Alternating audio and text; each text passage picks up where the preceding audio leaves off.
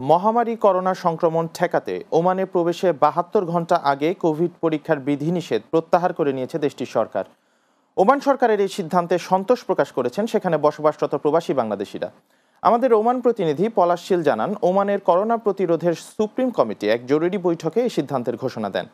একই সাথে পহেলা মার্চ থেকে শিথিল করা হয়েছে মাস্কের ব্যবহারও। এদিন থেকে বাইরে চলাফেরায় মাস্ক ব্যবহার বাধ্যতামূলক নয়, তবে সংকীর্ণ স্থানে পাশাপাশি থাকলে মাস্ক পরিধান করতে হবে। এছাড়াও হোটেলগুলোতেও ধারণ ক্ষমতার শতভাগ বুকিং নেওয়া যাবে বলেও সিদ্ধান্ত জানানো হয়। ওমানস্থ বাংলাদেশ সোশ্যাল ক্লাবের চেয়ারম্যান সিরাজুল হক বলেন এই সিদ্ধান্তের ফলে প্রবাসীদের ভোগান্তির অবসান হলো।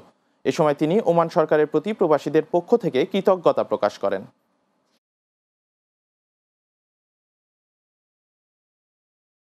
বাংলাদেশের স্বাধীনতার পঞ্চাশ বছর পূর্তিতে ফ্রান্সের রিব্র্যান্ডিং বাংলাদেশ ইন ফ্রান্স শীর্ষক একটি আলোচনা সভা অনুষ্ঠিত হয়েছে। আমাদের ফ্রান্স প্রতিনিধি রাসেল আহমেদ জানান, রাজধানী প্যারিসের নিকটবর্তী বি ব্লকে এ আয়োজন করা হয়।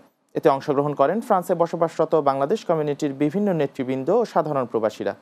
বি ব্লকের প্রধান সরওয়ার হুসাইন তার বক্তব্যে বলেন, পশ্চিমা দেশগুলোতে বাংলাদেশ সম্পর্কে নেতিবাচক ধারণা দূর করার অত্যন্ত সময়োপযোগী একটি কাজ, যেটা সরকারের পাশাপাশি আমাদের প্রবাসীদের অংশগ্রহণ জরুরি।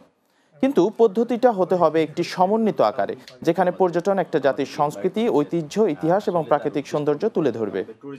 সংগঠনটি ফ্রান্সে অত্যন্ত সুনামের সাথে যে সমস্ত সেবাগুলো দিয়ে যাচ্ছে তা হলো ব্যবসায়ীদের start up support, graphics design, branding ও অ্যাডভার্টাইজিং, ডিজিটাল মার্কেটিং, অনুবাদ এবং সকল ধরনের ইমিগ্রেশন সহায়তা ও পরামর্শ।